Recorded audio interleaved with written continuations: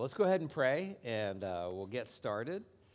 Father, thank you for this incredible book of Ephesians. Thank you for the opportunity to dive in and, and develop our skills at studying it for ourselves.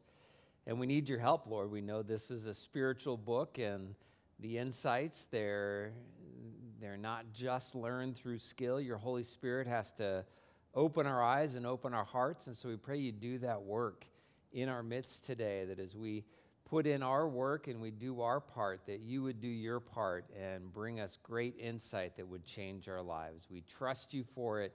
In Jesus' name, amen.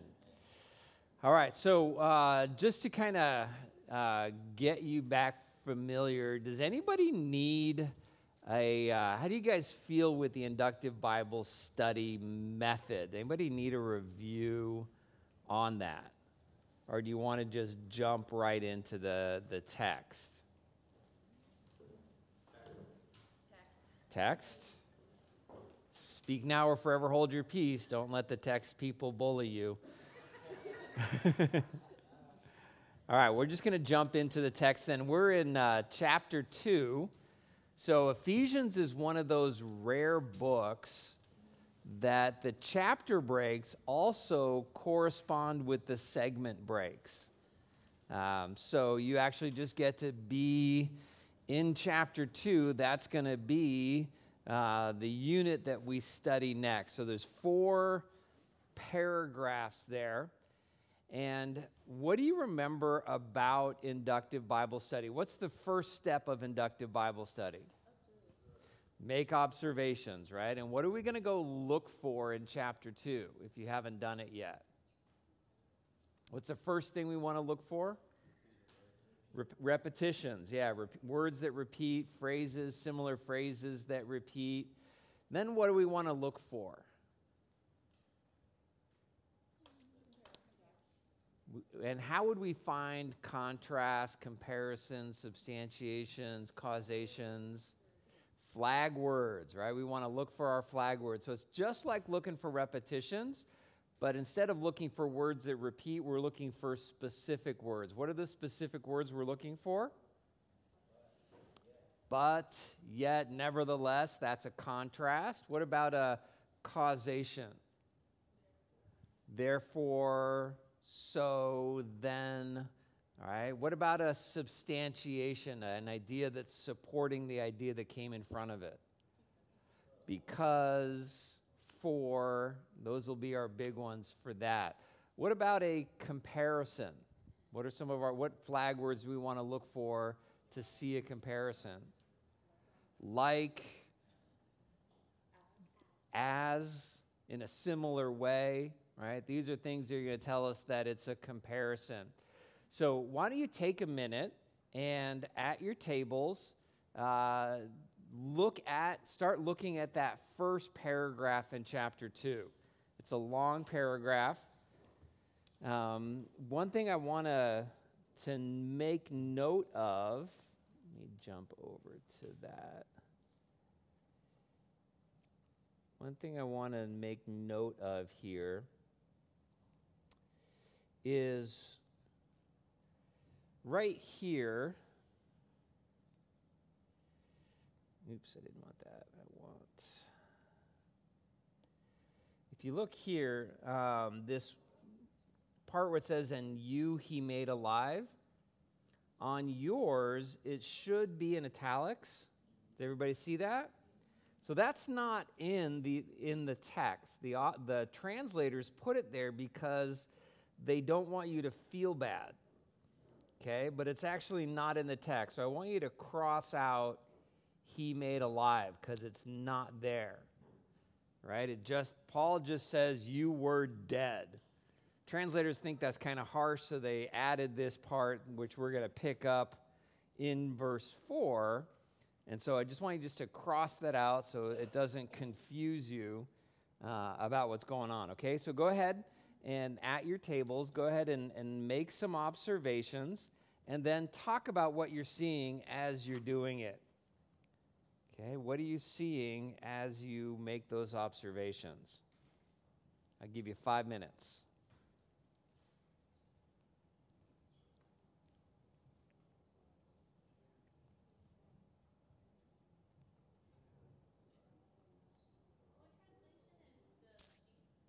New King James.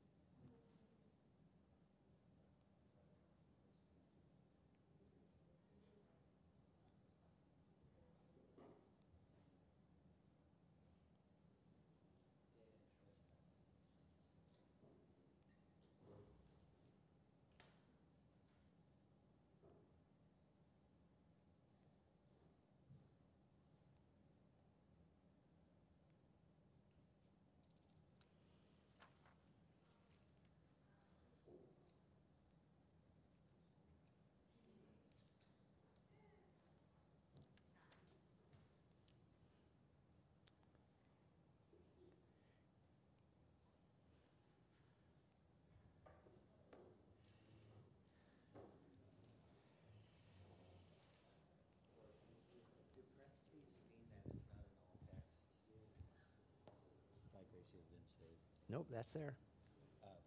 Why did they put parentheses? Because in the Greek, it's, it comes across as a parenthetical thought. And so there's no, like, Greek doesn't have commas, periods, exclamation points. And so the translators put in English punctuation to try to communicate what's happening in the Greek.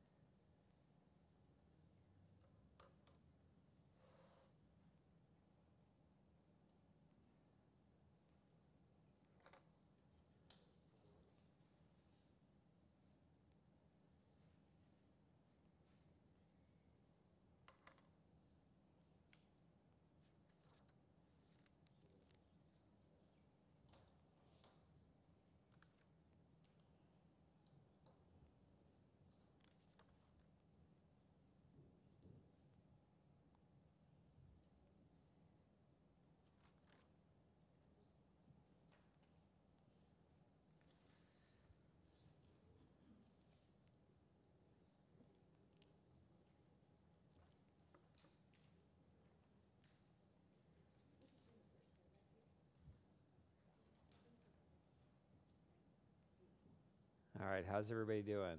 Need a little more time? You got it.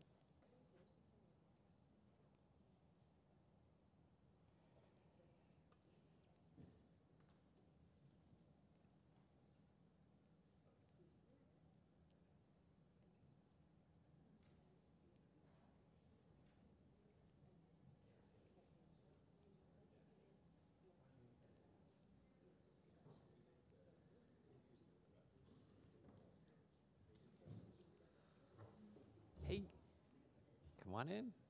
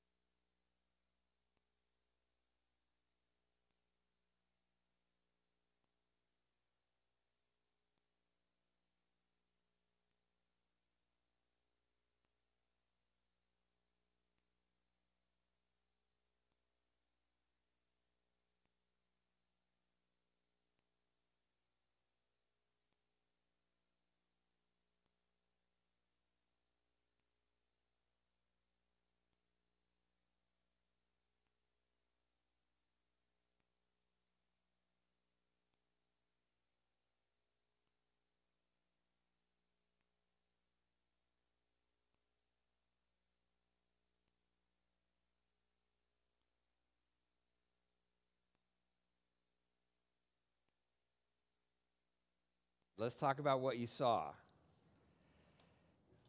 Shout it out. What did you guys see? I know you saw some stuff because I could. There's a big contrast, like starting in verse four. So Yep, everybody see that, right? The but right there in verse 4. So I'm going to put a little C letting me know that I've got a contrast right there. Okay. be contrasting everything that we were. Well, remember, we're, not, we're just making observations. We haven't asked any questions, so we can't make any answers yet. So remember, this is the discipline of inductive. Make your observations first, see everything that's there to see, and then we'll go and make our, our then we'll start asking our questions and try to find our answers. What else did you see?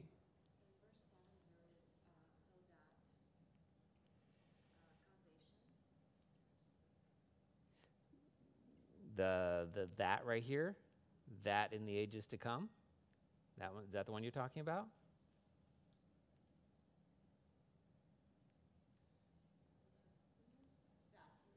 Yep, yep. So that's a, a little. Nope, sorry, wrong one. That's a little causation. So it's not starting a sentence or starting a paragraph. So it's not it's not controlling the paragraph at all. But we'll definitely get to that when we ask our questions. Yeah, did everybody see the for in verse eight? For by grace you've been saved. What is that?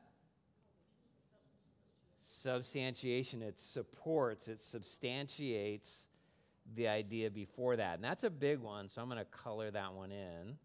So it lets me know the difference.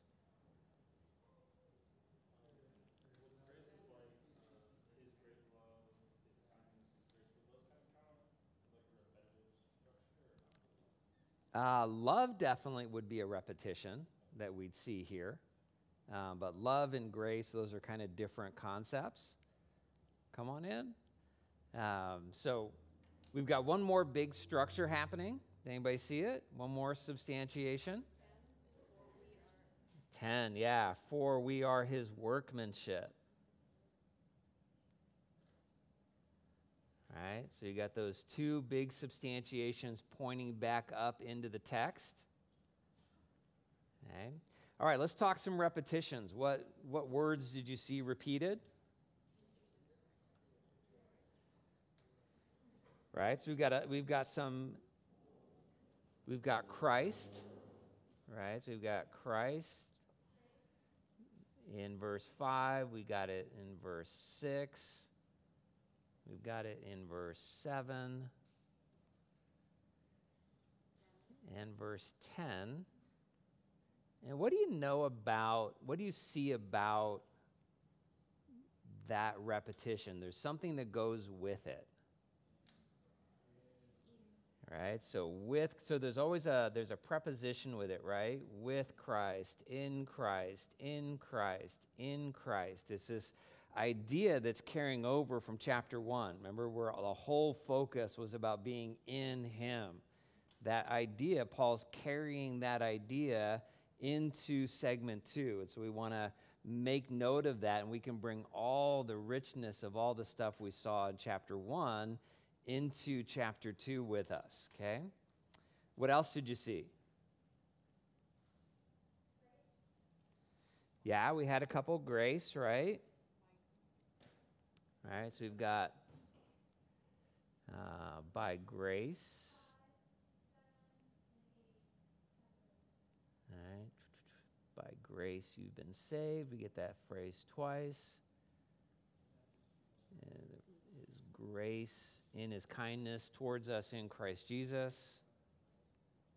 Right, everybody see those? Yeah. What else did you see? Anything else? Okay. Works, right? So we've got works in 10. Uh. Where else do we have works?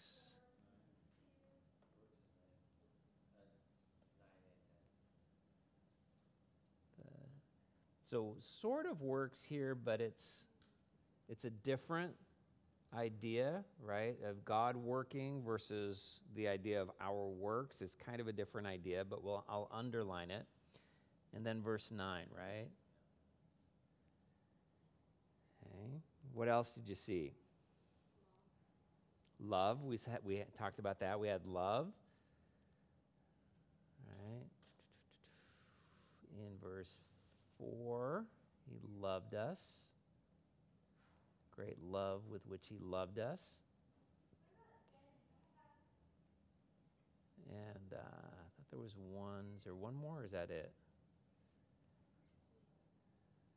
I think that's it. And then what was the other question?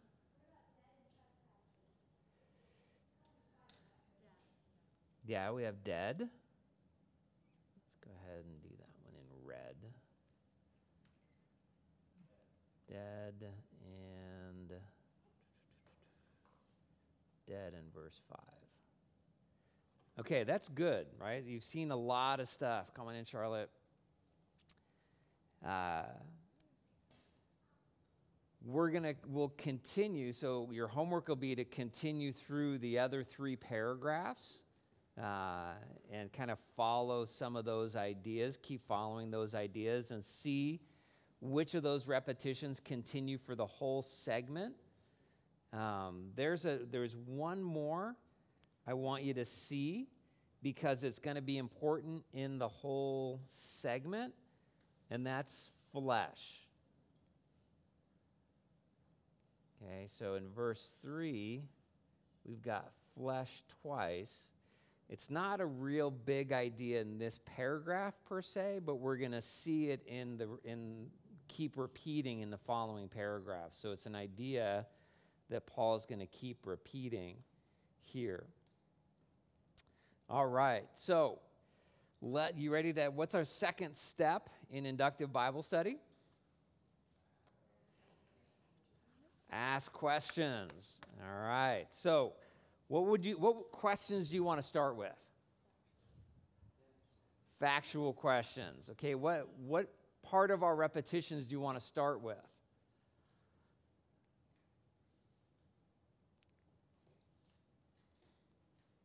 No preference? What?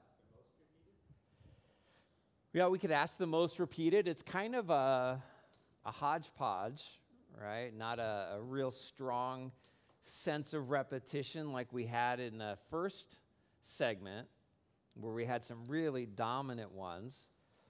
What I, I would suggest is let's start with the contrast, because it's the biggest thing happening in the, in the paragraph. So, what's the factual question that we want to ask about a contrast?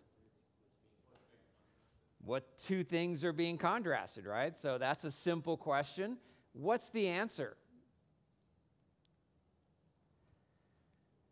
This takes a little bit of weeding clauses out because, you know, Paul likes to load up his sentences with a lot of different clauses.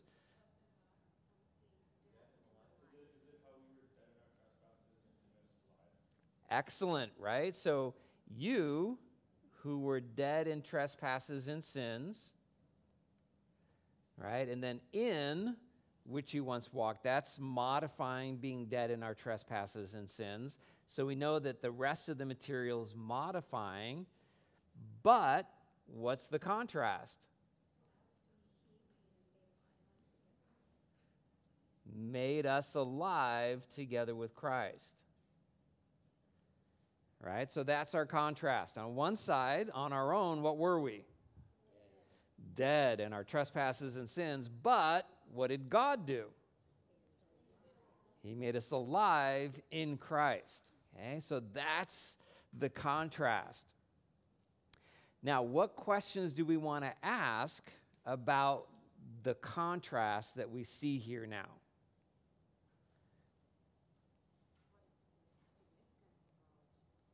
We'll get to the, the let's ask a couple more factual questions because I think there's a little bit. Yeah, what does he mean that we were dead, right? That we'd want to ask that question. What does he mean by dead? In what way were we dead? Were we physically dead? How do we know?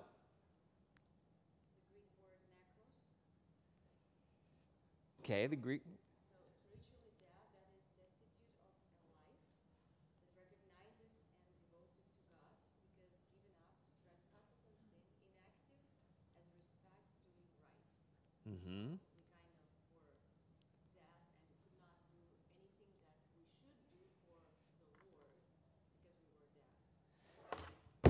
Oop, that's not good for it. Yeah, so so we were dead, and that word means without life, right? Without life, without animation, without power, uh, separated from uh, a life force. Another way to think about it is powerless. Right? So this death, when you're dead, what can you do? Nothing, absolutely nothing. What were we dead in? Trespasses and sins. So, what question can we ask about that? Yeah, what does the word trespass mean? Right? Because what, what does it mean in our context, in our culture? Where have you ever seen that word before outside of church? no trespassing, right? Uh, is that what Paul means? That we were, we somehow got onto somebody else's property and that killed us? Is that what he means? Don't think so. So, what does the word trespass mean?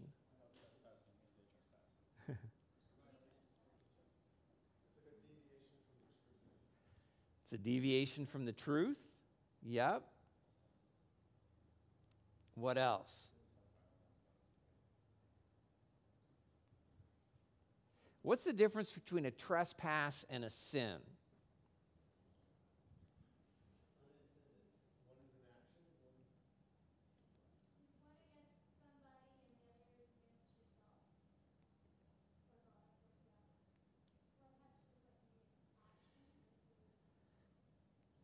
Okay, so the word trespass means to.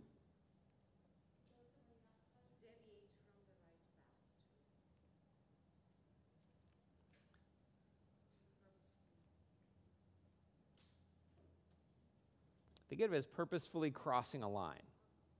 When you trespass, you are doing something purposefully that you know is wrong. What does the word sin mean?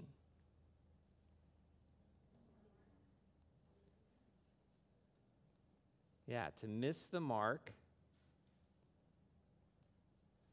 or to fall short of a standard. Okay, so what does it mean to be dead in trespasses and sins?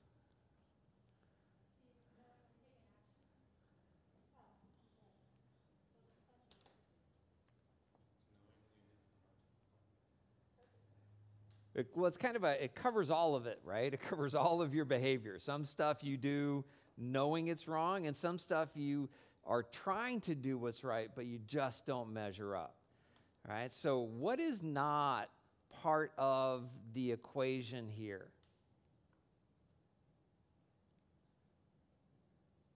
What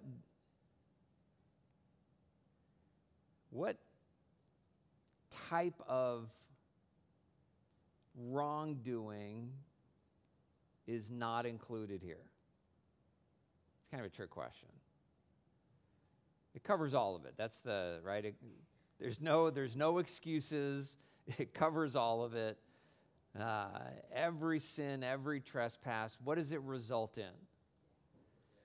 Death. Okay, so now let's talk a little bit more. Let's go a little bit deeper into this because now we've got some modifying phrases here. What do we know about being dead? What did we do when we were dead?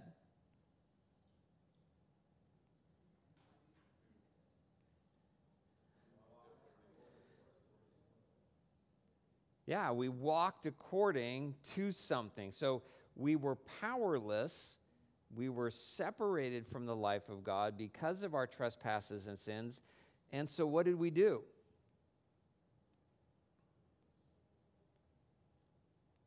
What, what does the word walked mean?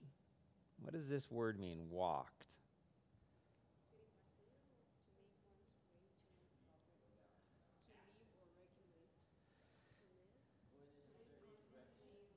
Yeah, it, it, has to do with the way we navigate life, right? It's the way we move through life. That's what the word walk means. It's your habitual behavior, it's the way you act, it's the way you talk, it's the way you respond, it's the choices you make, it's your lifestyle. So Paul says we were dead in our trespasses and sins, and as a result, we walked according to what? Okay, interesting phrase, the course of this world. What does that mean?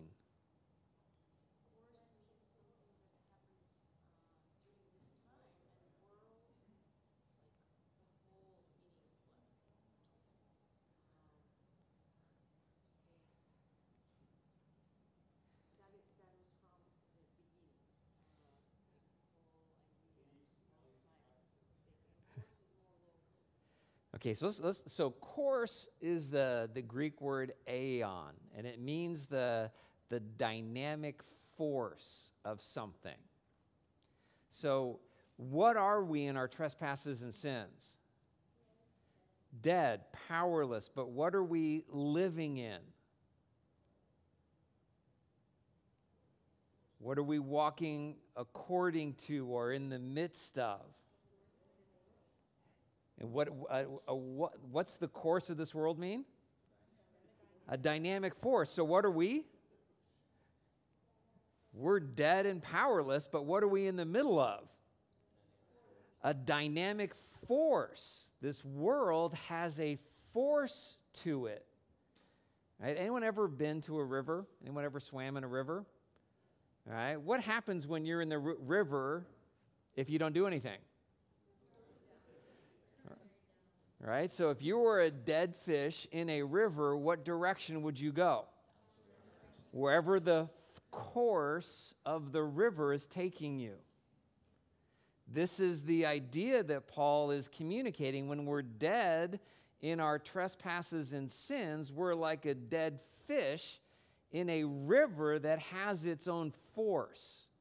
And it takes us in a direction. So the world has a dynamic force to it that is moving in a direction.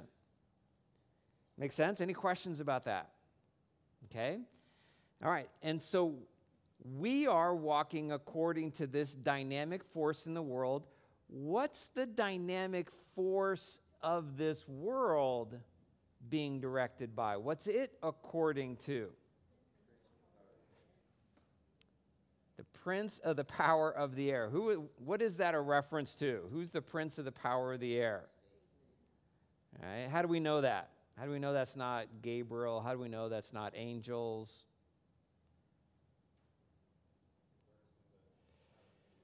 Because we got a little more clarification, right? What does that spirit do? All right, so we know it's got, so we get a clarification. This isn't a, an angel, that's not a, it's not Jesus, it's not the Holy Spirit. This is a demonic power that's working in the sons of disobedience. Who's the prince of that demonic realm? Satan is. That's how we make this. You see how we come to this conclusion that this that we're talking about Satan here. So now I want you to think about this. We're dead in our trespasses and sins, but what are we living in? The dynamic force of this world. We, what do we call it? What's our, our word for this? Culture. Right? The course of this world is the culture. It has a force to it that is moving people who are dead in a direction. Who sets the direction of our culture? The prince of the power of the air. What does this change? Does this change your perspective on culture? So think about this. What's the culture? What's the agenda of the prince of the power of the air? What does he want to work? What's he work? What does it say? Does it say against God?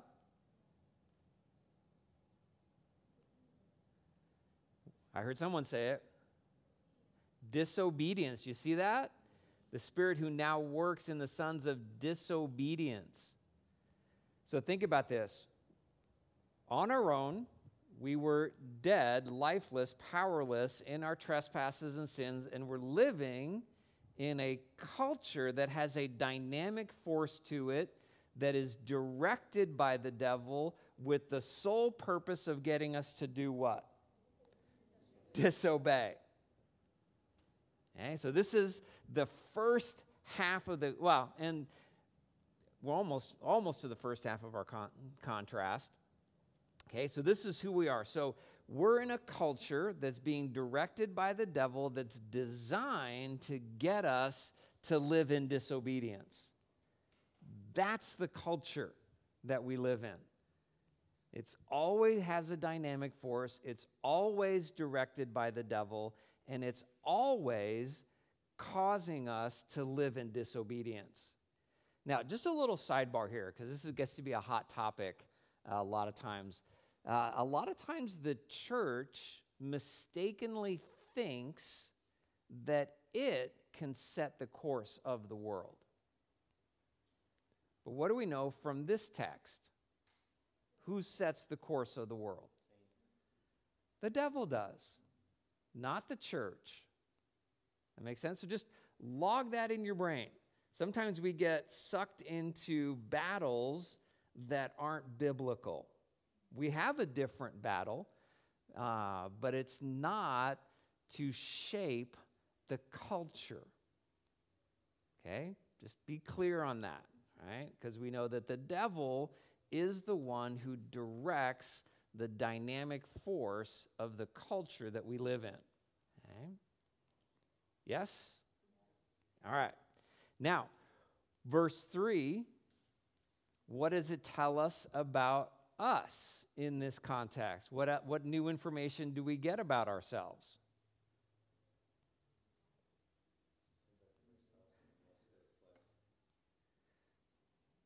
So there's this word also here, right? Among whom also, what's that pointing back to? Who's the also? The sons of disobedience. So we were also sons of disobedience in the way we did what? Conducted ourselves. How, in what did we conduct ourselves?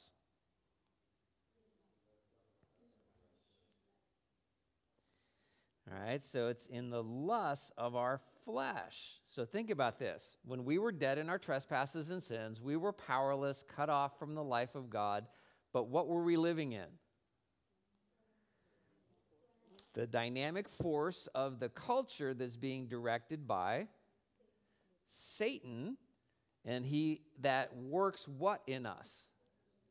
Disobedience we were also living in that disobedience. And what was another factor that pushed us in that direction?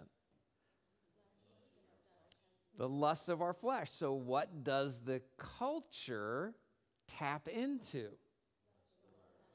The lusts of our flesh. You see how bad things are?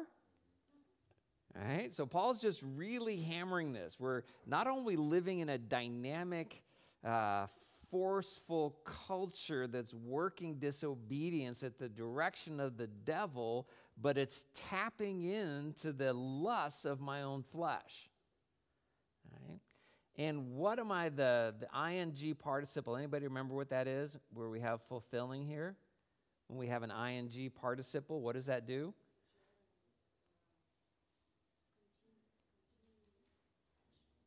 Yeah, so it's a gerund, a verb participle that is modifying the previous verb or the main verb in the sentence. So we were conducting ourselves in order that we might fulfill, right? So fulfilling points back to how we conducted ourselves.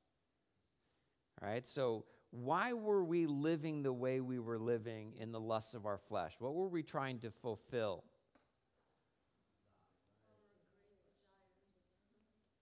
The desires of what? Our flesh and what?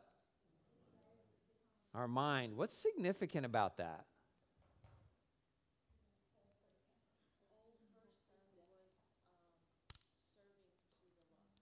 Mm-hmm.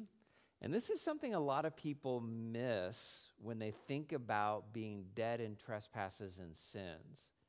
Anybody ever like see people like, well, I'm a good person, right? I'm not a drug addict. I'm not a philanderer. I'm not a thief. I'm not a liar. Those are, so the flesh has, the desires of the flesh speak to what? Yeah, so to physical pleasure, the things that feel good physically, right? Sex, alcohol, drugs, um, violence. Uh, these are the kind of things that uh, give our, our, us a sense of physical pleasure. What are the desires of the mind?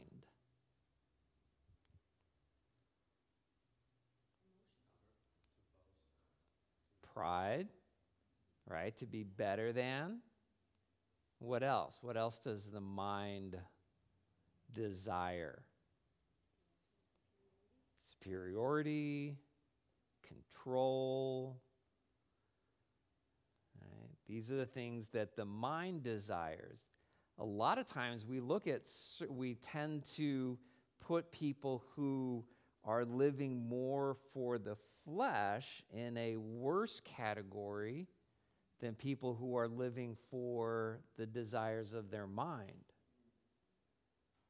I think academia is full of people who are living in disobedience in their minds, right? They're purposefully pushing back against the truth of God in a form of intellectual disobedience. And so you got to see the whole picture that Paul's putting up here. There is a part of our culture that, yes, appeals to the flesh, but there is also a part of our culture that appeals to the sinful mind with ideologies and, and frameworks that make us feel like we don't need God or we're superior to others. All the isms that are out there are the desires of the mind, right? Racism is a function of the mind. You know, um, chauvinism is a function of the mind. Uh, all those prejudices that, that are such an issue in our culture, they are part of Satan's purpose to get us living in disobedience. This makes sense? All right. So let's finish off this, this first half of the contrast. What does that make us?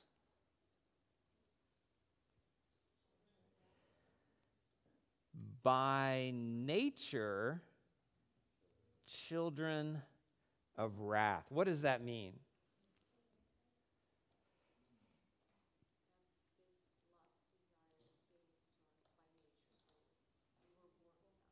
Yeah, it's, it's who we are, right? We didn't have to earn it. It's just our nature is to live a way that puts us as objects of God's wrath. All right, so all of this disobedience. So think about what is the devil's ultimate game plan? This might be something that surprises you. Yeah, the devil actually wants to leverage God's holiness to bring wrath upon God's people. That's his end game. He knows he can't destroy us, but if we rebel against God, we'll make ourselves we make ourselves objects of wrath. And so all the devil has to get us to do is to live in this culture uh, that is working disobedience in us and proving that we are children of wrath. Does this makes sense? Yeah? Any questions? No? Everybody got it, or you like, don't, nobody has it? Got it? Make sense? Any questions? Okay, you sure? Okay, so at your tables, I want you to come up with a seven word summary of the first half of the contrast. Can't be longer than seven words. Seven words. So take all of that, and I'm going to call on your tables. So you need a spokesman too.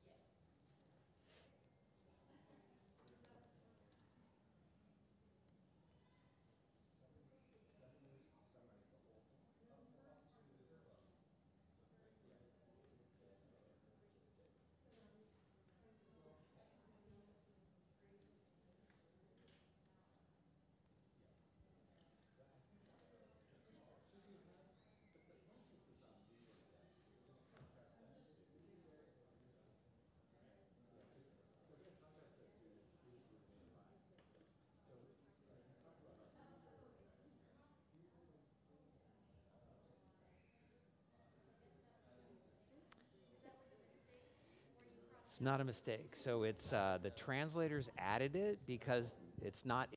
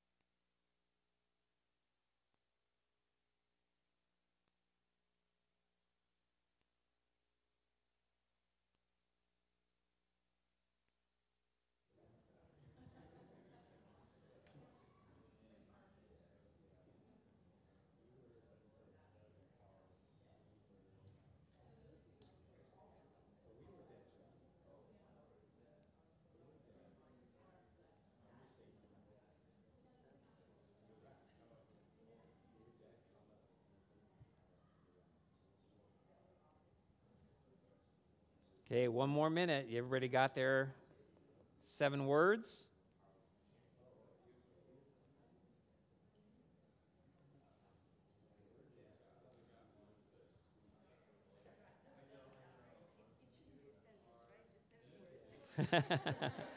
try to try to have it be cohesive.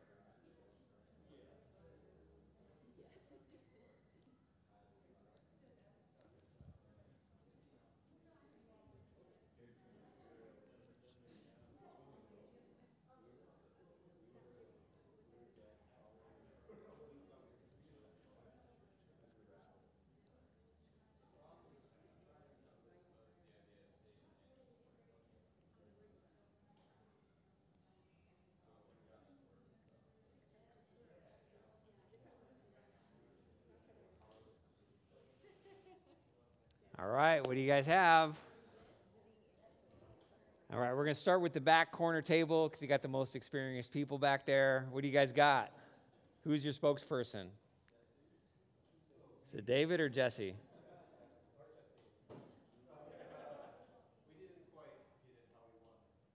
What do you got so far?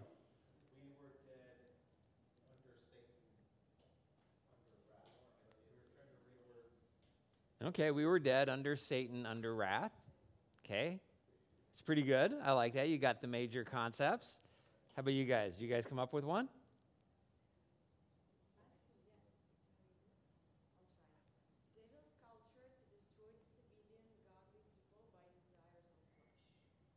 That sounds like like 12 words. That's good though. It's good. It's good. I like it. Say that again. You had some good phraseology in there. Devil's culture to destroy disobedient, godly people by desires of flesh. Okay, so you probably co- chop off that last phrase and you'd be close. All right, what'd you guys come up with? That was good though. By our nature, we're dead. Good. Good. I like that. You got the nature part in there.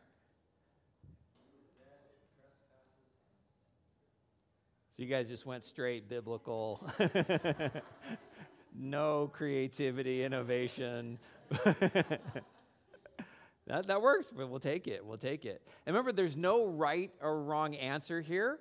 The, the, what you're doing is one of the most important parts of Bible study, and that's rephrasing it in words that make sense to you.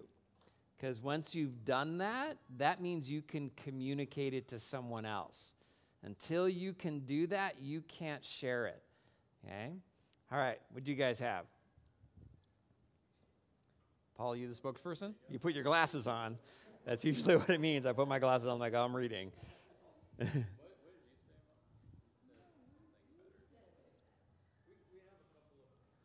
Pick one. What I said was, um, you were a dead fish in cultural river. I like that. That's that's pretty good. Dead fish in a cultural river. All right, that's good. All right, the one I wrote down uh, just now was dead and devil-driven descendants of wrath. All right. What? Yeah, I want all D's. Dead, devil driven descendants of wrath. It's actually six. I got a free word in that I didn't use. Dead, devil driven descendants of wrath. I was trying to come up with a word for D. I was going to say damnation, but then I would have been all D's. But I thought you guys might not like the word damnation. all right, so that's the first half of our contrast, right? That's the first half of our contrast that we're we're dead. That's the big idea. We're dead, but we want to carry this idea that it's worse than being dead. That being dead means that we're driven by the devil to do disobedient. I should I I should put disobedient in to be my seventh word. All right, uh, disobedient descendants of damnation. Right. All right, so we want to carry this thought. What's the second half of the contrast now? So that's the first half. We were dead in our trespasses and sins, pushed by the culture that's causing us to live in disobedience, making us objects of God's wrath. That's what we were, but what? Okay, but God, good. But God, what? What did God do? Okay, so he made us alive with whom? With Christ. So here's this important idea again that our life is intrinsically tied to whom? Jesus, right? So this is critical that you got to think about this that our life used to be driven by what? The devil's culture, that was the dynamic force in our life. What's the dynamic force now? Jesus, he is the dynamic life force that is that is different than the force of the culture. This is why it's so important that when you get saved, you start to feel tension with the culture. If you feel no tension with the culture, what does that probably mean? You're probably not alive.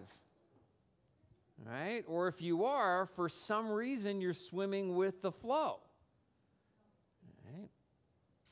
Hey, we want to be salmon. We want to go upstream for the long haul. Right? So he made us alive together with Christ. Now, what is it about God that caused him to make us alive? That's the next set of questions we want to look at.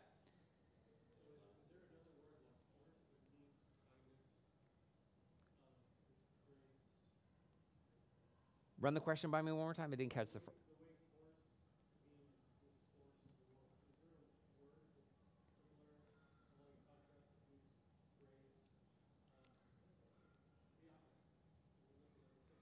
Well, let's let's just look and see what the text says. So let's see if that comes up. All right. So we don't need to force anything. Let's just see if if there's something there uh, for us. So let's look at the words that are there. What do we know about God? What does he tell us? What does Paul tell us about God in verse 5? Or verse 4, sorry. He's rich. Right? What does rich mean? Has an abundance, more than he needs, right? So he's rich in what? Mercy. What's the internal substantiation here? Why is he rich in mercy? right? His great love with which he loved us is what fuels God's mercy. Do you ever think about that? Do you ever know that about mercy? That mercy has at the heart of it love. All right, so it's because of his great love, not casual love, not little love, but it's this great love. Anybody look up the word love there? Any guesses on which one it is there?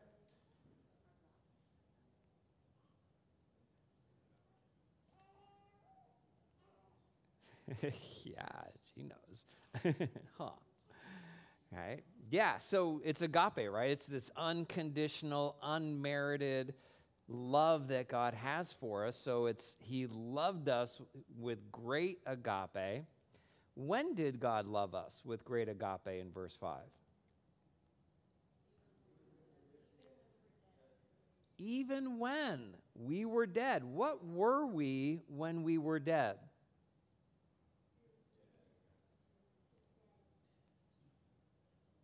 Go, grab the whole thought. Remember, we spent a lot of time going over this. We were dead in our trespasses. What were we doing?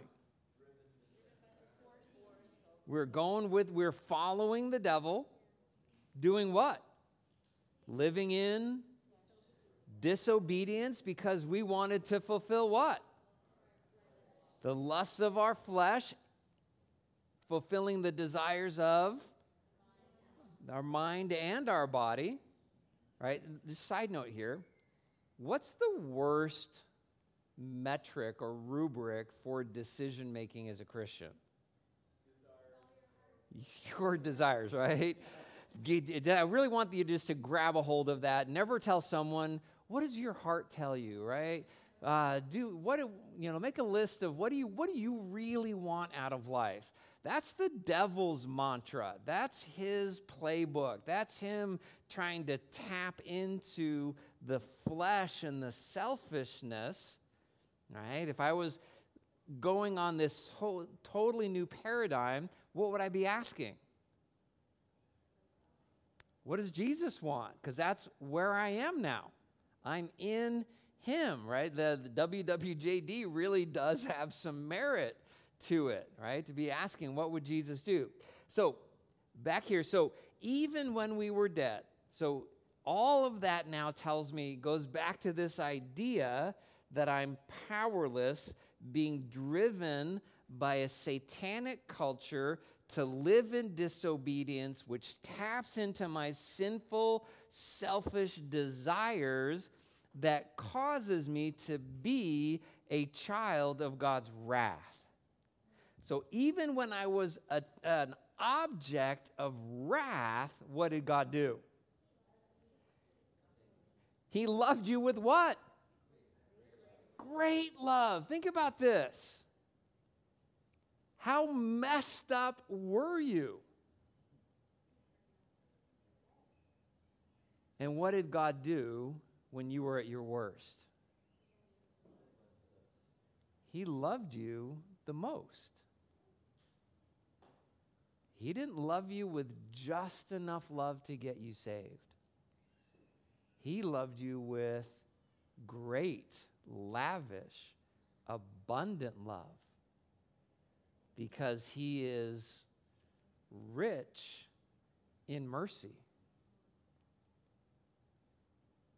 All right, now think about this, right? Sin creates debt.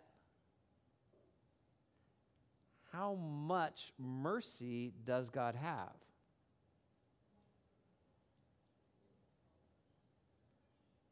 I love this thought that God is a bigger lover than you are a sinner. God has more mercy than you have disobedience. He is rich in all of these things. Now, we're going to learn that this is not an excuse to go sin more. I just want to throw that out as a caveat. All right? But whatever you've been through, whatever you've done, what can you be assured of? God's love is greater. God's mercy is richer. Right? So, in that, God made us alive. And then we get this parenthetical statement that he'll repeat again in verse 8 by grace you've been saved. What's grace mean?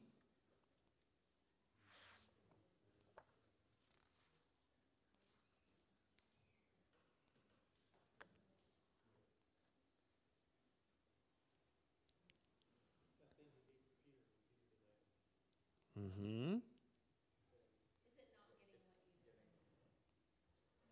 So mercy is not getting the punishment you deserve.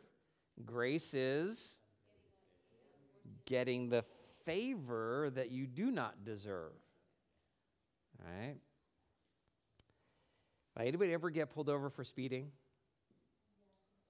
Right. Right. Anybody ever been let off? I have not.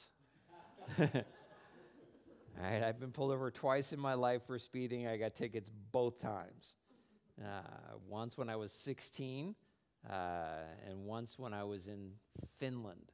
Uh, yeah, they make you pay on the spot in Finland. They don't have no uh, court date, no nothing. You pay that guy on the spot. Right, so those of you that got pulled over, were you guilty? Yes. And because you get, got let off, what did you receive? Mercy. You received mercy. You did not get the ticket you deserved. How many of you received grace?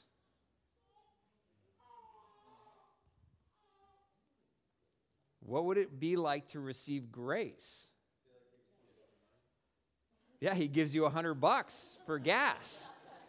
That's grace. You see the difference?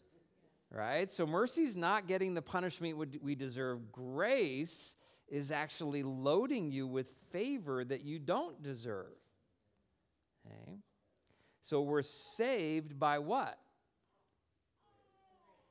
By this favor, right? So salvation isn't just about being forgiven.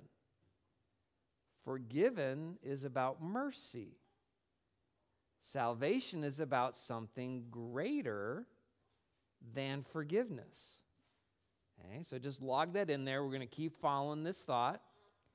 What did he do in making us alive? Look at verse 6. What else did he do?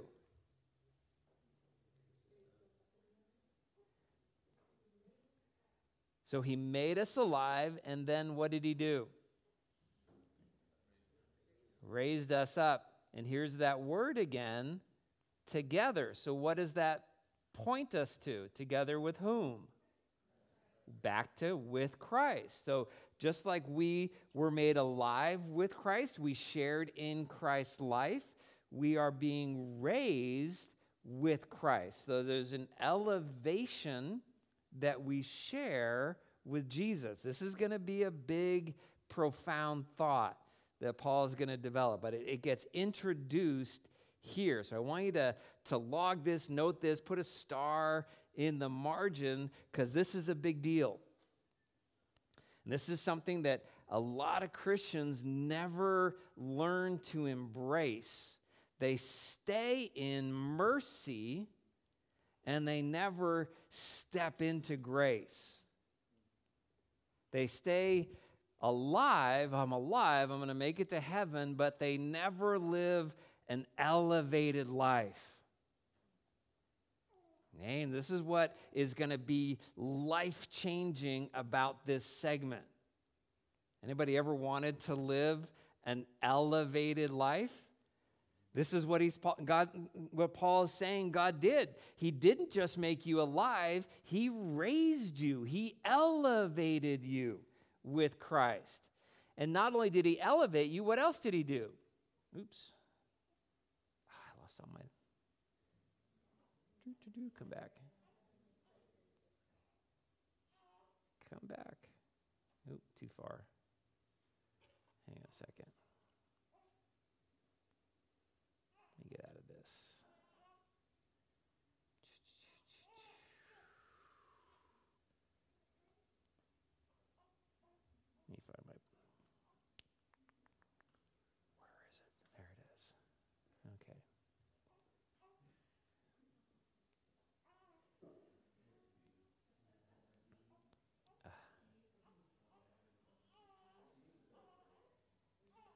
All right. I lost all my notes, but it's okay. It's clean again. All right. So,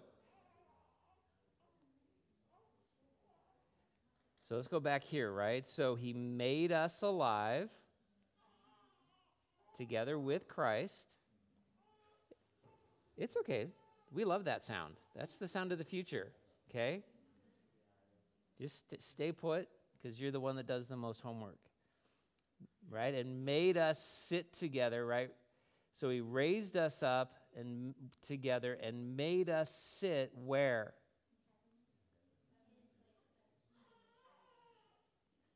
Okay, what does that mean? What does that mean?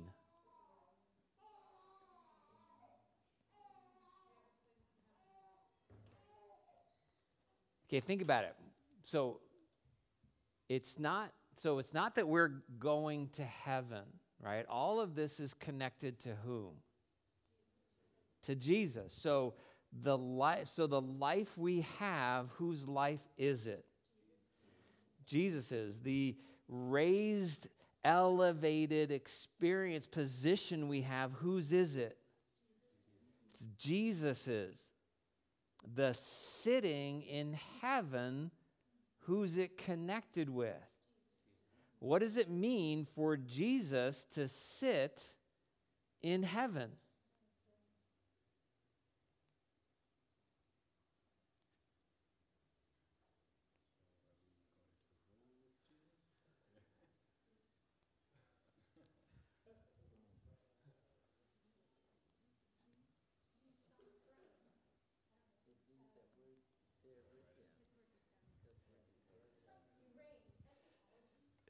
It's not, it's not, it's not eschatology. This is, this is all stuff that Paul is saying is now. Right? You're alive, you're raised, you're seated with Christ. This isn't eschatology. This isn't stuff to come. This is your life right now. This is your reality. Where are you?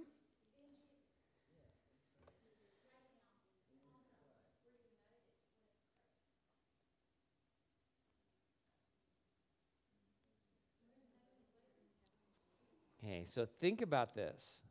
This should rocket, those who are here for segment one, this should rocket you back to segment one.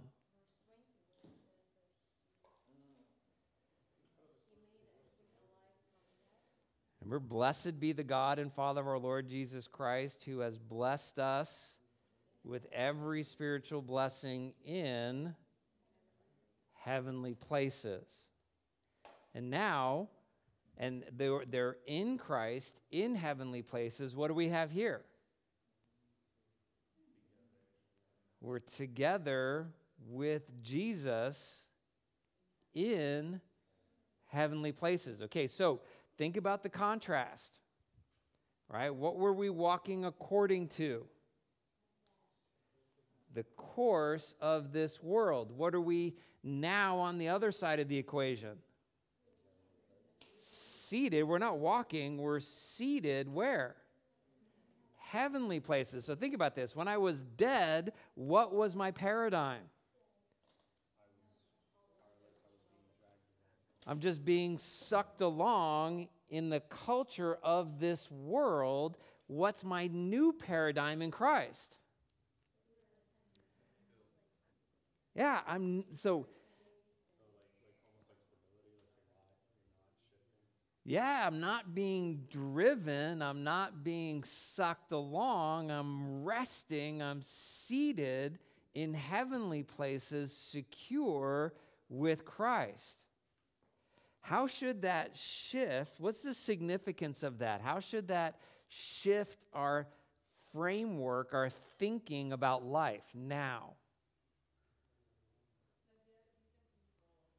He's in control, security.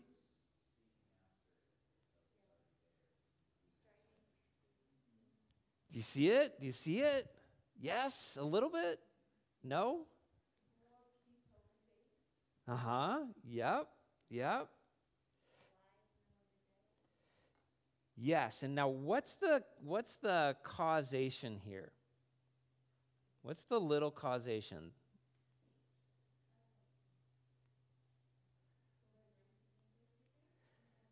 No, the that in verse 7.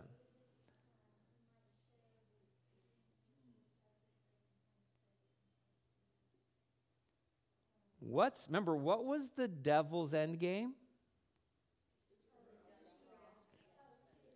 Yeah, use God's holiness against us and destroy us in God's wrath. Get us to be destroyed by God's wrath. What's God's end game?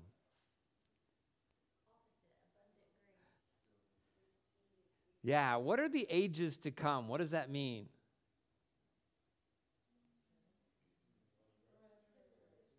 Yeah, what are the ages to come? Yeah, it's a reference to beyond this age. It's time beyond this age, eternity. What does God want to do for eternity? What's God going to do for eternity? He's going to show us something, reveal something to us. What is it? The exceeding. What does exceeding mean? Yeah, it's way over the top, right? It's to, the word means to throw beyond, right? To go be, way beyond. So, God, we know that God was rich in mercy. What's He also rich in?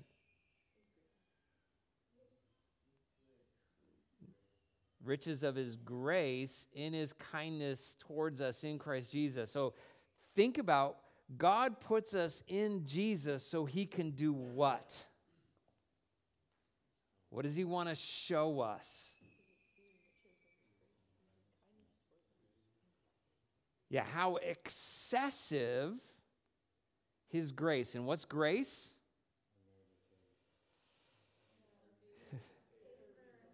Yeah, getting good that you don't deserve. So, how much good does God want to give you in eternity?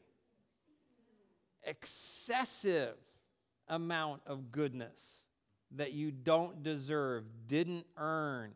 Um, I know that there's a, a passage that we're not going to get into it because it's in Corinthians, but it's it's shaped a lot of Christian thinking uh, around our works based culture that you and I are working for heavenly rewards. Anybody ever right heard that idea? Hey, you got to do got to, you know, rack up your rewards in heaven as if our effort could produce more goodness than God's excessive grace. All right, so there's a disconnect here. The real riches of eternity is not tied to my effort, but it's tied to God's excessive grace. How long is God going to give us an excess of goodness? More than can actually be experienced and absorbed. What does that tell you about God and His goodness?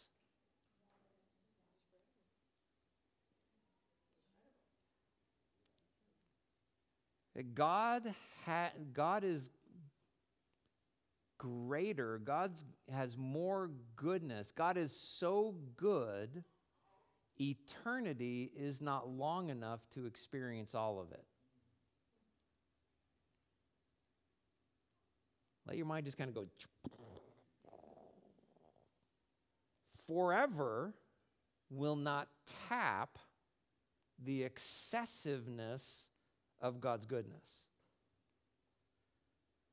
Where does that goodness get expressed?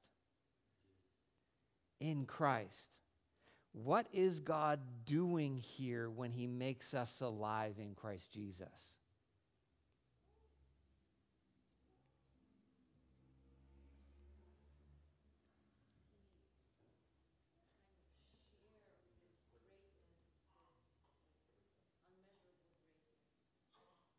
That, that who experiences? So think about this God is opening to us the same glorious relationship that he has with Jesus.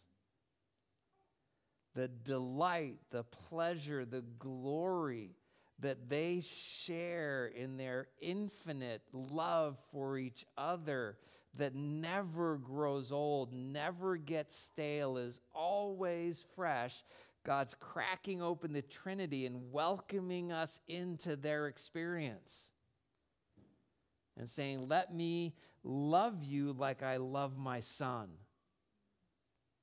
Let me pour the excessive love and adoration I have for Jesus.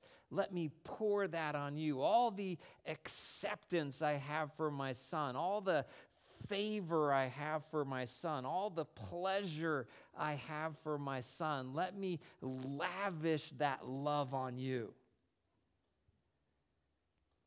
So, what's our contrast? How big is this contrast?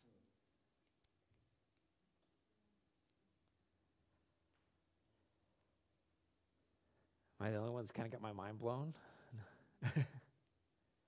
right? It's, it's epic, right? This contrast is incredible. Okay?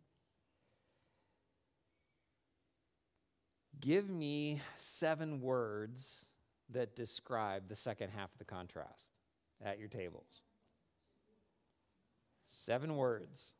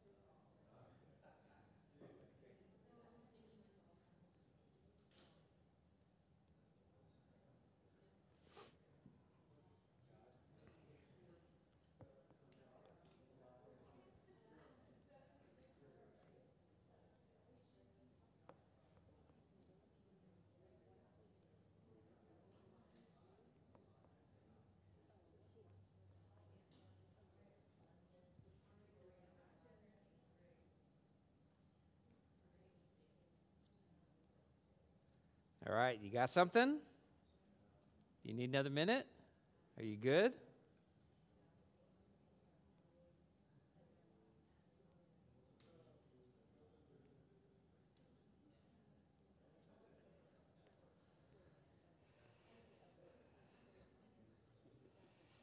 All right, you guys ready? All right, let's do it in reverse order. All right, Paul, you guys are up. I like that. I like that. Very good. Nice and tight. Well done. Say it again, nice and loud. Read it one more time, Paul. All right, I like it. All right.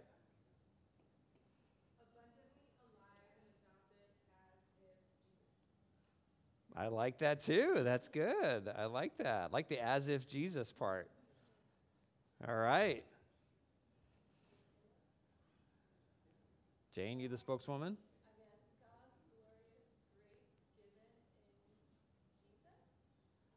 I like that. We're going for a little bit of a G alliteration there. That was good. I like that. All right. You see how good you guys are getting at this? Right? Just got to get the brains working, and now you're summarizing massive concepts. All right, David. What,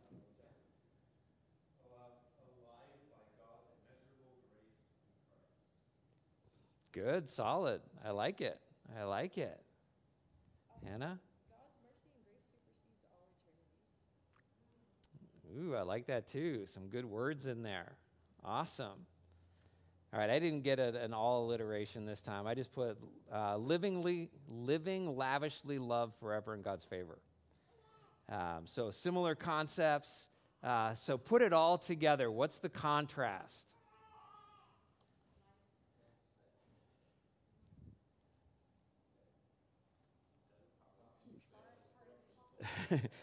yeah, you see how how massive this contrast is, right? That you were as dead as dead could possibly be, under wrath, driven by this satanic culture, living in disobedience. Now, God, in His infinite grace and favors, made you alive, seated you with Christ so He could, for eternity, love you in an inconceivable, uh, infinite fashion. That's the contrast. That's who you are. Okay? That makes sense? All right, so that's, we're out of time, sorry. Uh, but we did some good work today. Give yourselves a round of applause. Good job. All right, so the homework for next week is go ahead and do your observations for the remaining three. We'll finish off this paragraph and get into the next one.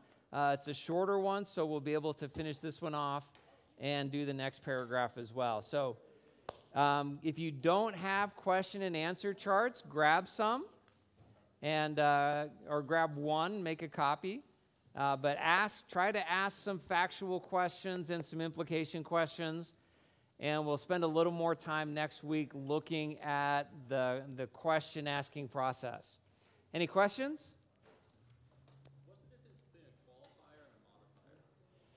A qualifier uh, limits and modifier expands. Okay? All right. David, you want to pray for us? Father God, we thank you that even though we were dead in our trespasses and sins, that you made us alive in Christ. We thank you for your exceedingly abundant love and grace and kindness towards us. We pray that um, as we go this week, that we just remember all of this. In Jesus' name. Amen. Amen. All right. Thanks for being here, guys. God bless you.